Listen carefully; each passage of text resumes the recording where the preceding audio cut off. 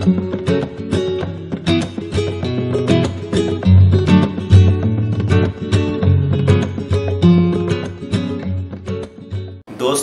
Property खरीदते समय तो सारी दुनिया सावधानी रखती है जितना भी जिससे रखा जाता है।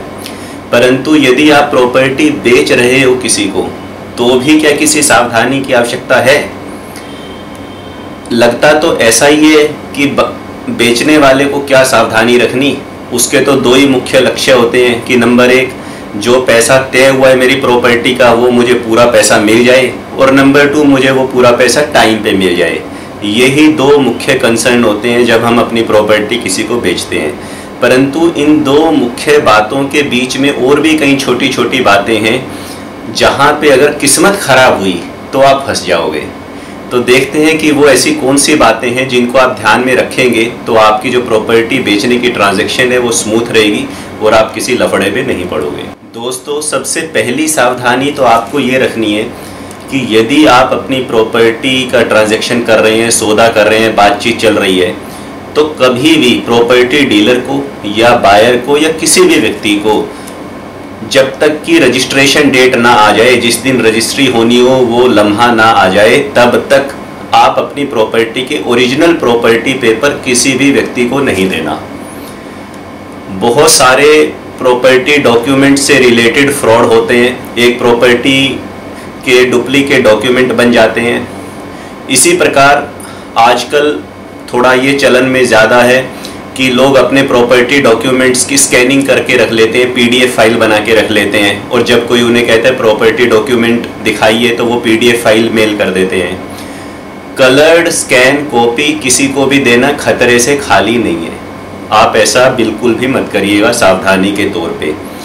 बहुत ही ज़रूरत पड़ जाए और प्रॉपर्टी डीलर या बायर बोले कि भाई मुझे प्रॉपर्टी डॉक्यूमेंट चाहिए वेरिफिकेशन करनी है तो आप खुद उसके पास चले जाइए, उसे अपने पास बुला लीजिए प्रॉपर्टी डॉक्यूमेंट ओरिजिनल अपनी आँखों के आगे दिखा दीजिए।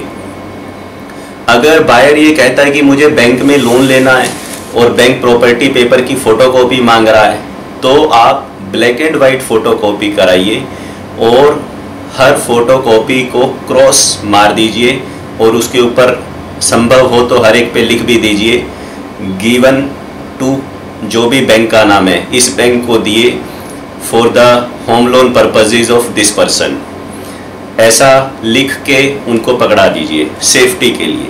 तो ये पहली सावधानी रखनी है प्रॉपर्टी पेपर के डॉक्यूमेंट्स के संदर्भ में। नेक्स्ट सावधानी जो कानूनी रूप से आपको रखनी चाहिए, वो ये रखनी चाहिए कि जिस व्यक्ति को आप अपनी प्रॉपर्टी बेच रहे हैं, जो प्रोस्पेक्टिव बायर हैं या अगर एक से ज़्यादा लोग आपकी प्रॉपर्टी को खरीद रहे हैं तो जो आप एग्रीमेंट टू सेल बनाएँगे प्रॉपर्टी खरीदने, बेचने का जो एग्रीमेंट बनेगा, उसमें सभी बायर्स के नाम लिखे होने चाहिए। उनका आधार नंबर भी लिखा होना चाहिए और सभी बायर्स के उस एग्रीमेंट पे साइन होने चाहिए। ऐसा नहीं कि प्रॉपर्टी आप दो लोगों को बेच रहे हो, किसी एक ने साइन कर दिया, बात ख़त्म हो गई। वो एग्रीमेंट कंप्लीट नहीं होगा लॉफुल नहीं होगा, वो अनलॉफुल एग्रीमेंट होगा, अगर कोई विवाद उत्पन्न हो गया तो।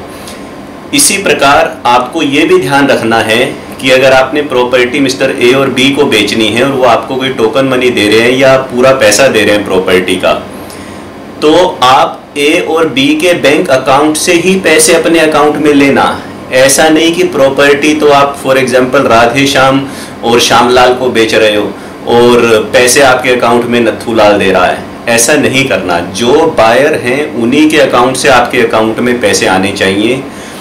तभी वो एक वैलिड ट्रांजेक्शन होगी। कल को अगर मिस्टर सी ने आपके अकाउंट में पैसे दे दिए और मिस्टर सी की नीयत में कुछ खराबी आ गई तो वो आपके ऊपर एक सेपरेट मुकदमा कोर्ट में कर सकता है कि मैंने तो इनको पैसे उधार दिए थे, मैंने इनसे कोई प्रॉपर्टी नहीं खरीदी और पैसे मैंने दिए थे और इन्होंने प्रॉपर्टी मुझे बेची ही नहीं प्रॉपर्टी ए और बी को बेच दी, पैसे मेरे से ले लिए। आप क्या करोगे? तो जिसको प्रॉपर्टी बेची है, उसी से ही पैसे लेने हैं। उसकी कंपनी से भी नहीं लेने। कई बार क्या होता है कि मिस्टर ए और बी हैं या मिस्टर ए हैं, चलो। मिस्टर ए एक कंपनी में, प्राइवेट लिमिटेड कंपनी में डायरेक्टर बने हुए हैं। प्रॉपर्टी मिस्टर ए खरीद रहे हैं, परंतु जो उन्होंने चेक काट के दे दिया आपको, वो अपनी कंपनी का काट के दे दिया। कंपनी एक सेपरेट लीगल एंटिटी होती है और मिस्टर ए एक सेपरेट एंटिटी है। आम तौर पे हम नॉर्मल बोलचाल की भाषा में बोल देते हैं कि इस कंपनी के मालिक हैं। ऐसा नहीं है। लीगली ऐसा नहीं है कम से कम। तो जिस, अगर आप कंपनी को प्रॉपर्टी बेच रहे हो तो ही कंपनी का चेक लेना है, वरना कंपनी के अकाउंट से पैसे नहीं लेने। तो जिसको प्रॉपर्टी बेच रहे हो, उसी से पैसे लेने हैं। मेरे भाई, किसी और से पैसे मत लेना अपने अकाउंट में। तीसरे पॉइंट पे चलते हैं। मैंने कुछ सेलर ऐसे देखे हैं कि जिन्होंने बैंक से लोन ले रखा होता है और वो उस लोन को पे नहीं कर पाते। लोन एनपीए हो जाता है। परंतु उनकी नीयत ख़राब नहीं होती। वो चाहते हैं कि भाई हम अपनी प्रॉपर्टी बेच के बैंक का लोन चुकता करके कर्ज मुक्त हो जाएँ। सर पे कर्जा नहीं मानता लेकिन बैंक जो उस प्रॉपर्टी के प्रोस्पेक्टिव बायर लाता है, वो बहुत ही कम वैल्यू के लाता है। तो वो सेलर किसी भी तरह से एक बायर अपने सर्कल में ढूंढ लेते हैं प्रॉपर्टी डीलर के माध्यम से या कैसे भी, जो उस प्रॉपर्टी को खरीदने को तैयार हो जाता है। चलो साहब, अच्छी बात है, आपको कम से कम एक बायर तो मिल गया जो एक रीजनेबल रेट पे आपकी प्रॉपर्टी को खरीदना चाहता है। आपने उस बायर को ये बताना है कि इस प्रॉपर्टी पे बैंक से लोन चल रहा है, आपने बता भी दिया। फिर आप उस बायर को आपको बैंक में ले जाना है बैंक में ले जाके बैंक मैनेजर से मिलवाना है। उस बायर से ऑफ़र दिलवानी है बैंक को कि मैं ये प्रॉपर्टी इतने रुपए में ख़रीदना चाहता हूँ। और फिर बैंक के अधिकारियों के साथ मिल के जो भी नेसेसरी लीगल फॉर्मेलिटीज़ हैं, उसके बाद ही आप उस प्रॉपर्टी को ख़रीदने का सौदा उस बायर के साथ करिएगा। अगर आपने ऐसा नहीं किया और एग्रीमेंट बना लिया और बाद में आपका और बायर का किसी भी बात पे झगड़ा हो गया तो वो बायर आपके खिलाफ चीटिंग का मुकदमा दायर कर सकता है सेक्शन 420 इंडियन पीनल कोड में, जिसमें सात साल तक की जेल का प्रावधान है, जमानत भी मुश्किल से मिलती है, जुर्माना भी लगता है। क्योंकि शुरू में आपने उसे चाहे सब कुछ बता रखा हो, जब झगड़ा हो जाएगा तो वो कोर्ट में और पुलिस को यही बोलेगा, देखो साहब, मेरे साथ एग्रीमेंट बना लिया, मुझे बैंक लोन के बारे में बताया ही नहीं। और इसकी प्रॉपर्टी बैंक में गिरवी पड़ी थी और मुझे बेचने की कोशिश कर रहा था और इतने रुपए मेरे से ले लिए। तो चीज़ों को डिस्क्लोज करना है, बैंक के पास ले जाना है प्रॉपर एग्रीमेंट बनाना है, बैंक के साथ कोई ट्राईपार्टाइट एग्रीमेंट अगर बैंक बनाता है कि तीनों लोगों का आपस में मिलके या जो भी नेसेसरी उस समय आपके एडवोकेट्स या जो बैंक के एडवोकेट्स हैं, वो काउंसिल करते हैं, उस तरह से ट्रांसपेरेंटली इस प्रकार की प्रॉपर्टी को बेचना है। सीधा सीधा वर्बली मूजबानी बता दिया, उसने समझ लिया, ऐसा नहीं करना, आप चक्कर में पड़ जाओगे। नेक्स्ट पॉइंट पे डिस्कस करते हैं। नेक्स्ट मेरा सजेशन ये है कि जब भी आप पेमेंट लें बायर से तो आप कम से कम चेक लेना अवॉइड करिए। चेक लेने में कई खतरे हैं और सबसे बड़ा खतरा है चेक बाउंस होने का। वो बाउंस चाहे किसी भी वजह से हो, सिग्नेचर मिसमैच हो गए तो भी बाउंस हो सकता है। वो अकाउंट क्लोज हो गया तो भी बाउंस हो सकता है। फंड नहीं थे उस दिन तो भी बाउंस हो सकता है। ऐसे कुछ कोर्ट केसेस में खुद हैंडल कर रहा हूँ कोर्ट के अंदर, जहाँ मैंने देखा है कि रजिस्ट्री वाले दिन बायर चेक लेके आया वो चेक रजिस्ट्री में एंटर हो गए कि cheque number so and so इस बैंक का दिया गया है। रजिस्ट्री हो गई सेलर चेक लेके घर गया बैंक में डाला, अगले दिन चेक बाउंस हो गया। चेक बाउंस हो गया तो उसको किसी दूसरे वकील साहब ने समझाया था तो डरने की कोई बात नहीं है। रजिस्ट्री के अंदर लिखा हुआ है कि अगर पेमेंट नहीं मिली तो ये रजिस्ट्री कैंसिल हो सकती है। हो तो पता नहीं क्या कह सकता है। लेकिन पिछले तीन साल से वो रजिस्ट्री कैंसिल हुई नहीं है और कोर्ट में तारीख पे तारीख पड़ रही है और वो एक झमेले में पड़ गया है, क्योंकि अगर मैं सेल वर्ड की लीगल परिभाषा पे जाऊँ तो सेल का मतलब ज़रूरी नहीं है कि पैसे दे दिए हों। पैसे देने का प्रॉमिस करना भी सेल होता है तो वो सेल डीड कैंसिल नहीं हो पा रही है अभी तक भी। वो जो अब सेलर हैं बेचारे, वो उसके ऊपर रिकवरी का केस अलग से डालेंगे। पहला केस हारने का खतरा बन चुका हुआ है। कोर्ट सेल डीड आसानी से कैंसिल नहीं कर रही है। बाकी facts to facts case to case depend करती है चीज़ें। ऐसे लफड़े में पढ़ना ही क्यों है? तो आप जो बायर है, सीधा उसको ये बोलिए कि भाई साहब, जिस दिन रजिस्ट्री होएगी, सब रजिस्ट्रार ऑफ़िस में, अगर आपको मेरे पे यकीन नहीं है, आप एडवांस में पैसे नहीं देना चाहते पूरे रजिस्ट्री वाले दिन देना चाहते हैं तो उसी दिन हाथों हाथ में प्रॉपर्टी पेपर लेके आऊँगा, जब सब रजिस्ट्रार ऑफ़िस में होंगे, उसी समय आप ऑनलाइन अपने बैंक अकाउंट से मेरे बैंक अकाउंट में ट्रांसफ़र कर दीजिएगा। या आप डिमांड ड्राफ्ट बना लो। डिमांड ड्राफ्ट बनाने में लोग इतने अप्रीहेंसिव होते हैं कि भाई इस पर डी बनाने का खर्चा आएगा। बहुत भारी मुसीबत में पड़ने से बेहतर है, वो खर्चा आप पे कर दो या आधा आधा कर लो या कोई और हल निकाल दो इस बात का। पर चेक लेना प्लीज़ अवॉइड कर। अगली सावधानी रखनी है आपको पोजेशन के संदर्भ में। जो भी प्रॉपर्टी आप किसी से कई बार मैंने देखा है कि आपस में जब एग्रीमेंट बन जाता है तो जो खरीदार होता है, वो सेलर को ये कहता है कि, भाई साहब, देखो, मैंने इतना टोकन मनी तो आपको दे ही दिया है, दो लाख रुपए तो दे ही दिए हैं, मेरा काम हेम्पर हो रहा है या मुझे किराया देना पड़ रहा है, दूसरी जगह मैं इस घर में शिफ्ट कर लेता हूँ या इस दुकान में मैं अपना कुछ सामान रख लेता हूँ। प्लीज़ आदमी सोचता है कि चलो यार एग्रीमेंट भी बन गया, इसने दो चार लाख रुपए मुझे टोकन मनी भी दे दिया है तो इसको चाबी दे देते हैं। कई बार चाबी गुड फेथ में दे देते हैं बिना किसी किराए के। कई बार चलो, ऐसा निश्चित हो जाता है कि भाई ठीक है, जब तक रजिस्ट्री तीन महीने नहीं हो जाती, आप मुझे दस हज़ार रुपये महीना एक्स्ट्रा पे कर देना किराए के। कई बार ये भी बात हो जाती है। कोई भी अवस्था हो, चाहे आप पैसे लो किराए के या मत लो, मेरा सुझाव ये है ऐसी गलती कभी करना नहीं। आप बिल्कुल भी अपनी प्रॉपर्टी की चाबी पोजेशन प्रोस्पेक्टिव बायर को नहीं देना जब तक रजिस्ट्री ना हो जाए। इसमें बहुत सारे कानूनी खतरे हैं, उन खतरों की विवेचना मैं इस वीडियो में करने लगूँगा तो दो घंटे का वीडियो हो जाएगा। कम शब्दों में जो बात कह रहा हूँ, बस आप उसको समझ लीजिए। पोजेशन जब तक रजिस्ट्री ना हो जाए रजिस्ट्री उससे पहले नहीं देना रजिस्ट्री वाले दिन ही देना है। उससे पहले किसी भी कीमत पे प्रोस्पेक्टिव बायर को चाबी अपने घर की नहीं देनी, दुकान की नहीं देनी, उसका सामान अंदर नहीं आने देना, खुद वहाँ से बाहर नहीं निकलना, भले ही ताला पड़ा रहे। नेक्स्ट पॉइंट ये है कि अगर आपने प्रॉपर्टी अपनी इस समय वर्तमान में किराए पे दे रखी है कोई लीज एग्रीमेंट बना रखा है rent agreement leave and licence what in whatever form और वहाँ पे कोई किराएदार है जो उस प्रॉपर्टी को यूज़ कर रहा है, वहाँ पे रह रहा है। तो ऐसी परिस्थिति में आप जो एग्रीमेंट टू सेल बनाएँगे बायर के साथ, उसके अंदर साफ़ साफ़ एक्सप्रेसली मेंशन करवा दीजिए। उसमें बता भी दीजिए सामने वाले बायर को और उसमें लिखवा दीजिए कि इनको ये बता दिया गया है कि वर्तमान में ये प्रॉपर्टी इस इस व्यक्ति के पास किराए पे चढ़ी हुई है और इसका जो लीज एग्रीमेंट है या जो भी एग्रीमेंट है, उसकी कॉपी भी इनको प्रोवाइड करा दी गई है। ऐसा डिस्क्लोज कर दीजिए आप, क्योंकि कई बार क्या होता है, जो किराएदार होते हैं, वो खुद इस फिराक में होते हैं कि हम इस प्रॉपर्टी को सस्ते में ख़रीद लें और जब मकान मालिक उनको किराएदार को प्रॉपर्टी नहीं बेचता किसी वजह से तो वो चिढ़ जाते हैं। खाली चिढ़ने में तो वो क्या करते हैं? चलो चिड़ने में तो वो इतना ही करते हैं कि कोई प्रॉपर्टी देखने आएगा उसे ठीक से दिखाएँगे नहीं।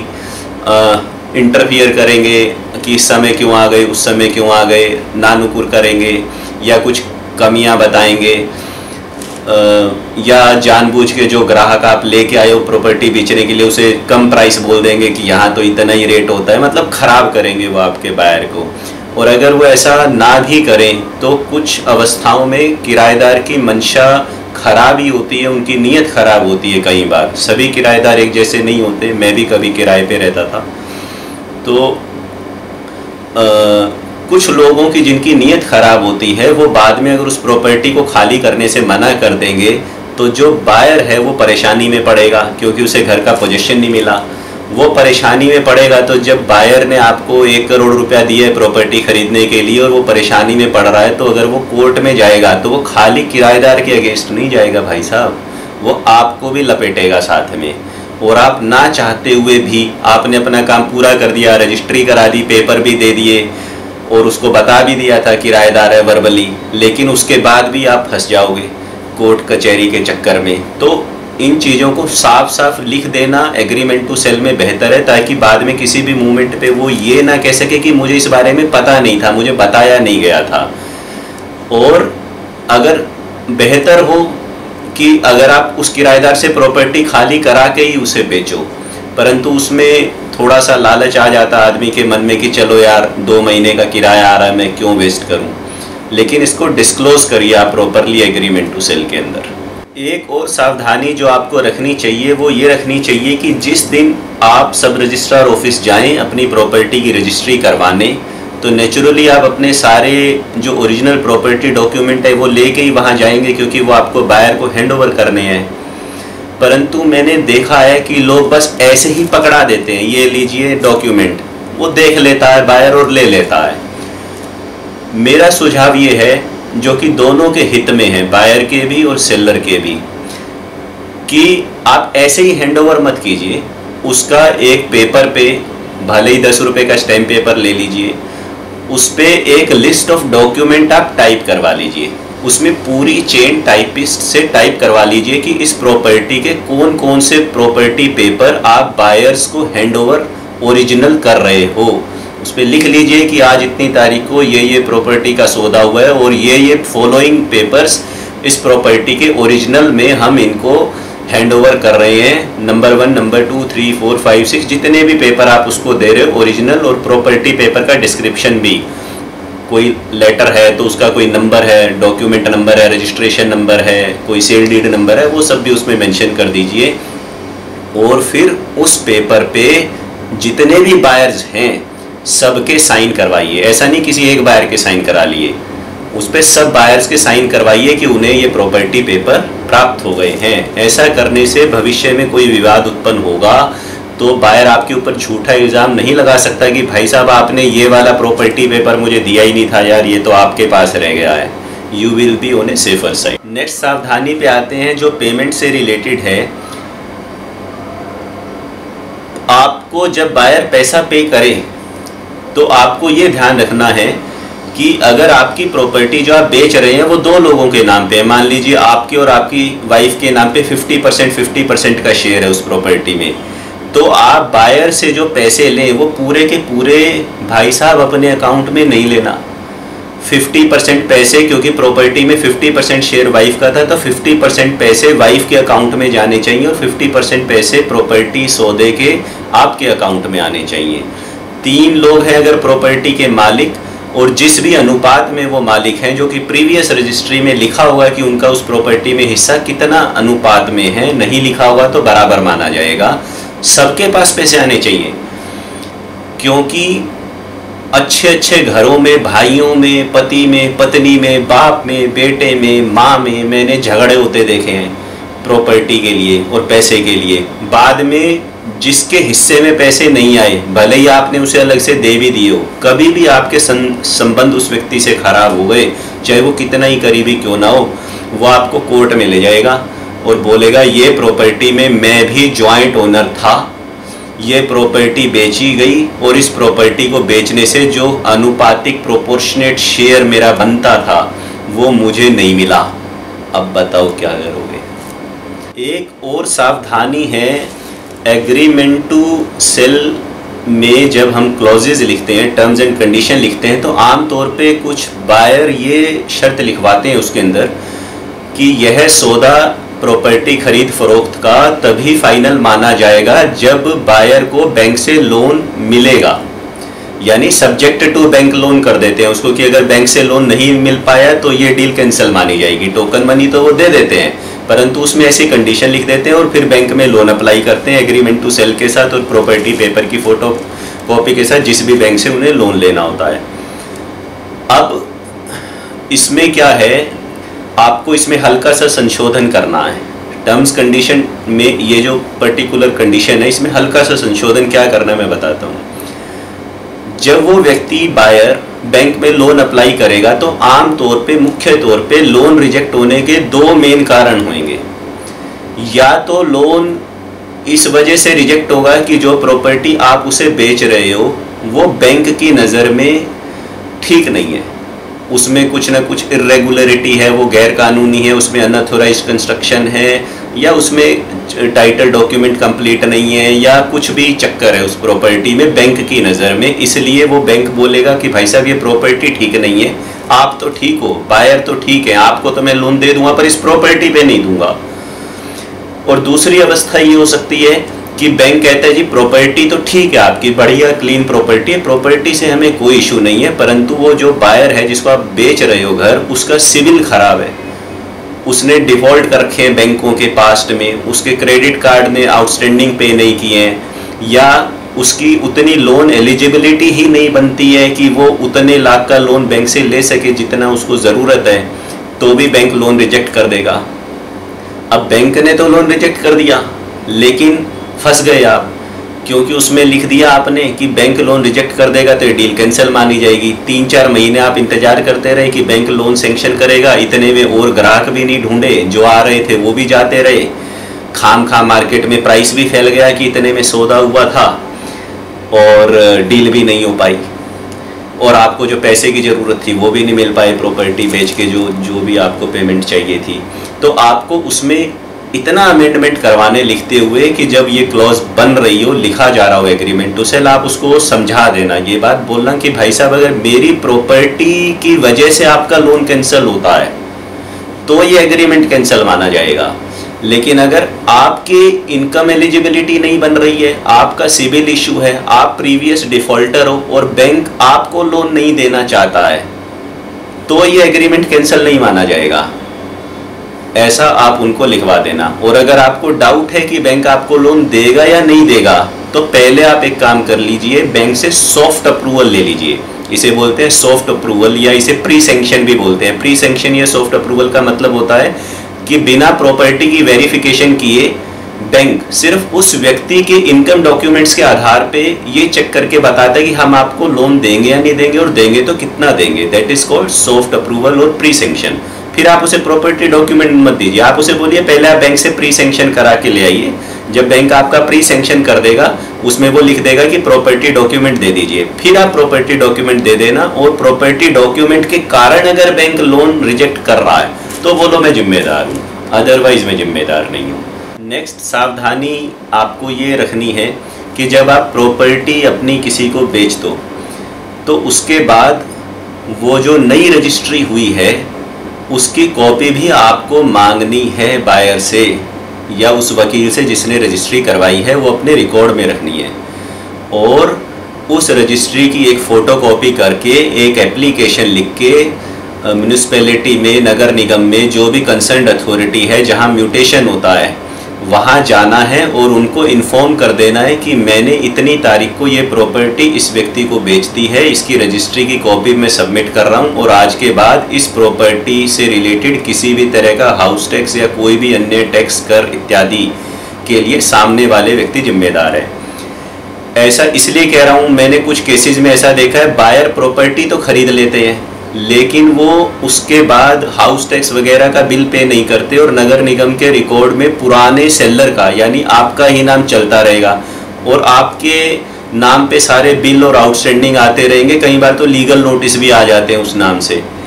तो आपने जब प्रॉपर्टी बेच दी है तो उस प्रॉपर्टी से संबंधित जहाँ जहाँ जो भी रिकॉर्ड्स हैं, वहाँ पे आप बायर को फोर्स कीजिए कि वो जाके वहाँ पे अपना नाम चेंज कराएगा। और अगर वो ऐसा नहीं कर रहा है तो आप जाके वहाँ पे इंटीमेट कर दीजिए कि ये प्रॉपर्टी से मेरा कोई लेना देना नहीं, ये रजिस्ट्री की कॉपी है I am not liable for any future taxes कुछ और भी अन्य छोटी मोटी सावधानियाँ हैं, जैसे कि income tax point of view से बायर को टीडीएस काटना चाहिए, उसकी लाइबिलिटी है, उसे नहीं पता तो आप उसे बता दीजिए। आपने कोई प्रॉपर्टी बेची है तो उस पर जो भी एप्लीकेबल कैपिटल गेन टैक्स है शॉर्ट टर्म कैपिटल गेन या लॉन्ग टर्म कैपिटल गेन वो आपको पे करना पड़ेगा। आप अपने सीए से पूछेगा कि कितना पे करना है, कितने में प्रॉपर्टी खरीदी थी इंडेक्स्ड कॉस्ट क्या है प्रॉपर्टी की। एज ए जनरल रूल कोई भी अनलॉफुल काम आपको नहीं करना चाहिए कैश में ट्रांजैक्शन नहीं करनी चाहिए। पर इस इस पॉइंट पे मैं ज़्यादा नहीं बोलना चाहता। सिर्फ़ इतना ही कहना चाहता हूँ कि किसी भी गैरकानूनी गतिविधि से बचिए।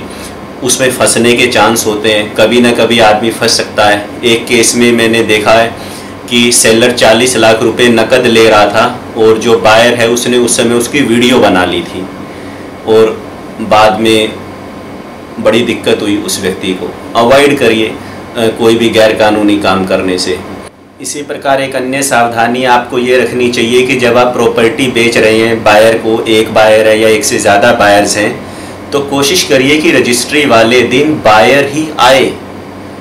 और एग्रीमेंट टू सेल पे सबके साइन हो, ये मैं पहले ही बता चुका हूँ। लेकिन अगर कोई बायर कहता है, मैं नहीं आ रहा हूँ, और वो जनरल पावर ऑफ़ अटॉर्नी दे रहे हैं किसी अन्य व्यक्ति के नाम पे तो जीपीए एज सच तो वैलिड है। कोई दे सकता है जीपीए कि मेरे नाम पे ये रजिस्ट्री कराएगा।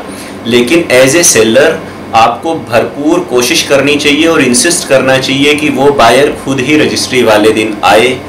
क्योंकि जीपीए में प्रॉपर्टी खरीदने या अगर आप प्रॉपर्टी किसी को बेच रहे हो तो उसमें कई तरह के लफड़े और कई तरह के फ्रॉड होने की संभावना है। कोई भी जीपीए तब तक वैलिड है जब तक वो व्यक्ति जीवित है। पता चले कि जिस मूवमेंट पे जीपीए होल्डर रजिस्ट्रार ऑफ़िस में साइन कर रहा है, उससे पिछली शाम को जीपीए देने वाला गुजर चुका है। कोविड के कारण उसका अंतिम संस्कार हो चुका है और अगले दिन जीपीए पे प्रॉपर्टी खरीदी जा रही है। पूरी ट्रांजैक्शन इनवैलिड हो जाएगी, कुछ भी हो सकता है। ना होने को कुछ ना हो।